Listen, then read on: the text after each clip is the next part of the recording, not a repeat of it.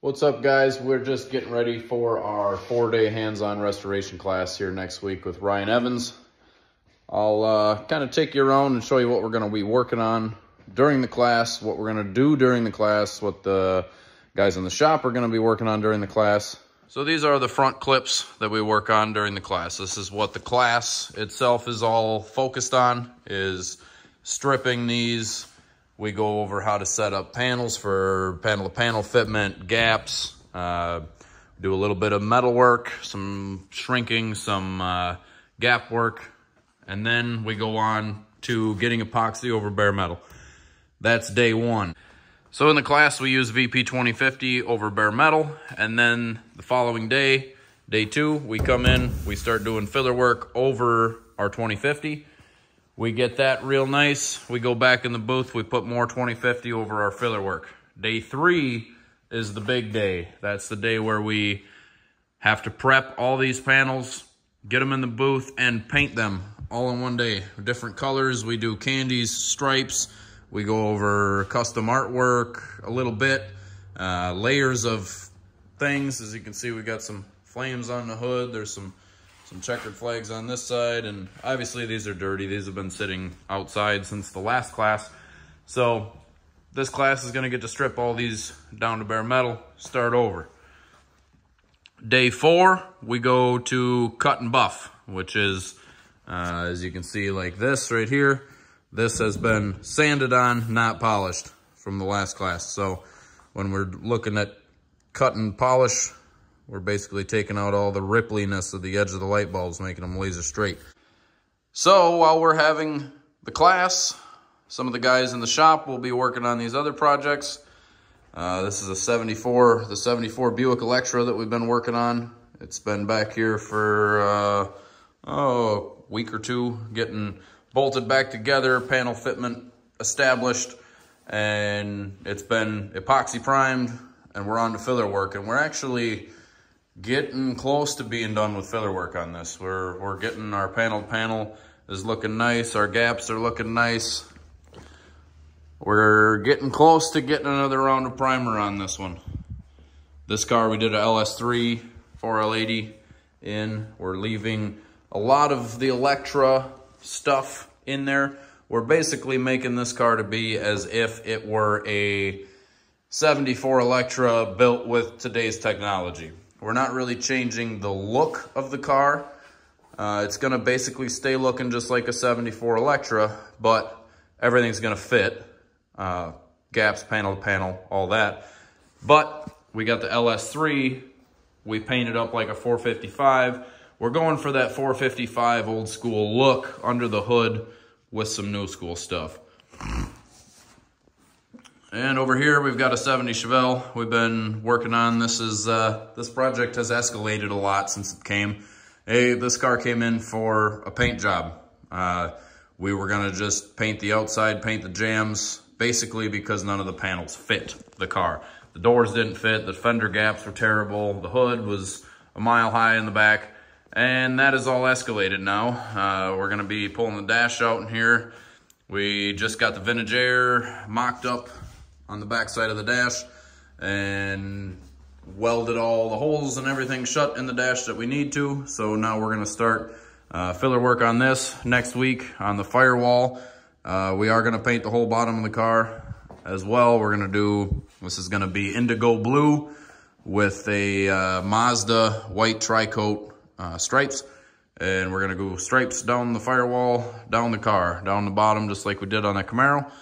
And this one is basically more or less turned into a full build. We didn't disassemble the entire chassis. The chassis was pretty nice, uh, but we did a lot of upgrades. We put QA1 suspension on it.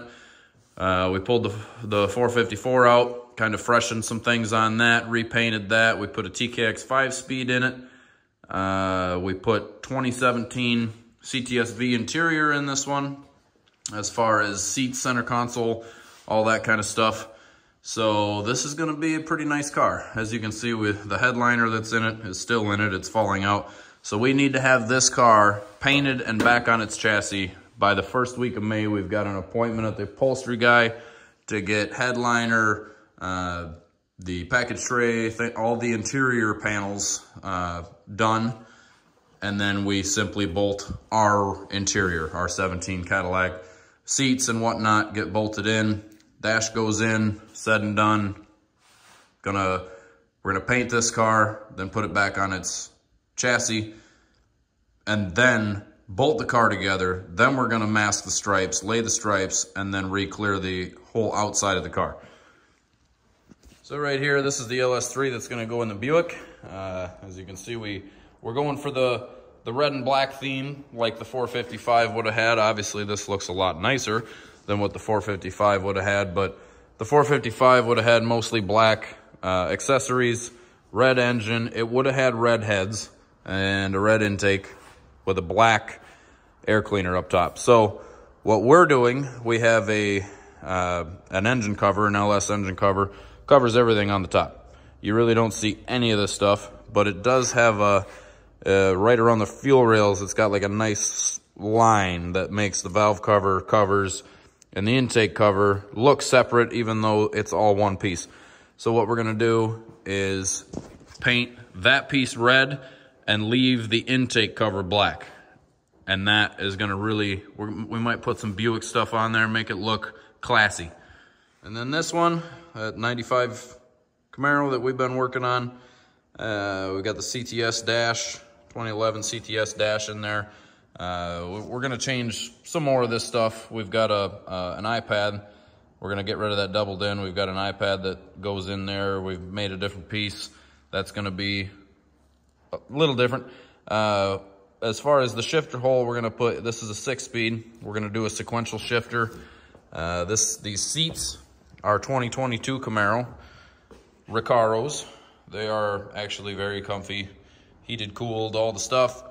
Same as the back seats. We're still working on the back seats a little bit, but we've got them in there and they, they mostly fit. They're not bolted in. The back section is not bolted in at the moment. And then under the hood's the fun part. We've got a Turbo LS, Turbo LS1. We're gonna run about 10 pounds of boost to it. Tyler's been getting some piping and mounting some things, getting that all ready to rock and roll. We've got some headers that fit on there real nice. So he's got one, one exhaust header run up to the flange. So that one is gonna go to there. And then from here, three inch out down through here. We're gonna have an intake. The charge pipe's gonna come up through here, right into there. And this one is actually gonna come out and down through here, way down here to the intercooler, right there. PPG has been kind enough to help us out with the class. They always do, they always come through for us. All the products that we use during the class as far as sprayables, this is basically it. 2050, DPLV 50, 80, uh, DT 1585, 1595. We got some black base coat here, and then we use the VC 5700 clear to top it all off. So earlier this week, that Ingersoll Rand. This has been the the bad boy that's run the shop ever since we've been here. And uh, earlier this week, we had a switch panel. This one decided to uh, not work anymore. So we're still waiting on this. We've done some tests. It will work when this is back to us. So in the meantime, we got another one. We got a Sea Air. Uh, this is 25 CFM at 175. And then that Ingersoll is 27 CFM at 175. So we've got roughly 50 CFM at 175 PSI. Now, uh, see over in the corner, we got our air dryer hooked up. Got three stage that goes to the whole shop. But what we've done is before we had that Ingersoll Rand in there with a 60 gallon extra tank, what we've done is actually put that on top of the compressor room. So now we've got 220 gallons at 175 of air storage with 50 CFM at 175. This should be more than enough air for the five of us here in the shop.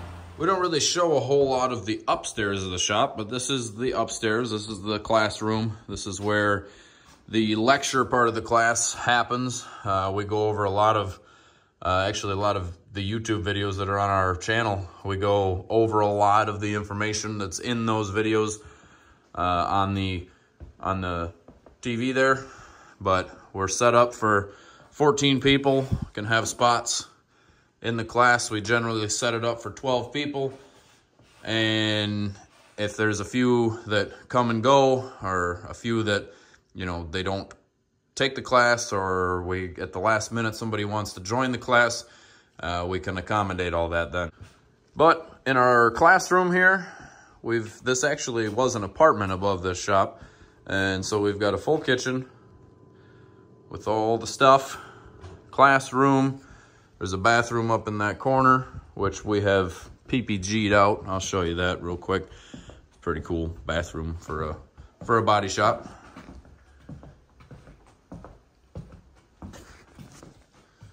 Got her all decked out in here, all the PPG stuff everywhere. We've got all the little trinkety, the coloring book, and some old Mopar stuff, and we even painted our toilet. A lot of people are kind of messaging us, asking us, what do we do with all our parts? Well, this is all the stuff that we don't usually show.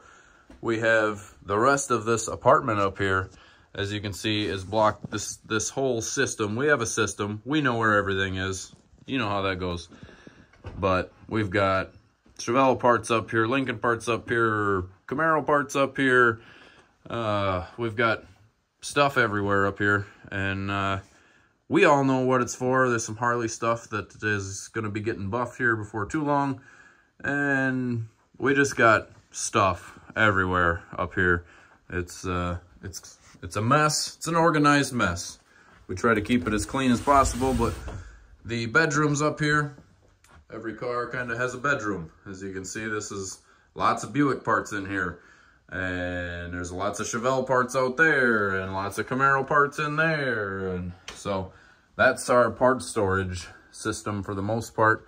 Uh, we do have three 40 foot storage containers outside as well that we can put a car in if need be.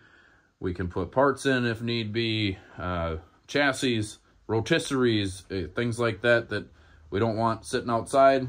We put them in there, lock them up. Nobody can get to them. No mice can get to them. And right in here, this is where all the magic happens.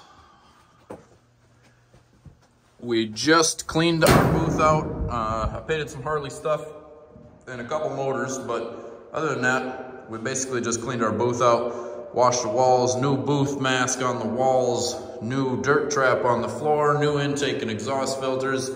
We revamped our exhaust uh, venting and we put some dampeners and things in so we can actually pressurize the paint booth instead of the exhaust sucking harder than the intake is pushing. Now we can adjust that so we can get our barometric pressure in the booth just right. We can, we can actually make the booth pressurized so that when I come in the booth and I open this door, the air isn't sucking in, it's actually blowing out. So any dirt that may be coming in with me or from the paint room is actually getting pushed out instead of sucked in. And since we've cleaned this, the few things I've painted since then have been way cleaner. So really happy about that. We changed all our air fittings over to high flow in here. So this is where we're gonna be doing all the priming, painting, spraying, clearing, all the stuff for the class. Gonna happen right in here. And then this is the shipping department. This is Brittany's domain. She's got her office out there. She prints all the labels, does all the orders, emails, etc. in the office. Then she comes in here. We've got all the blocks laid out, organized, I'll say. Uh, through this door, there's a garage where we keep all the, I'll say, overstock.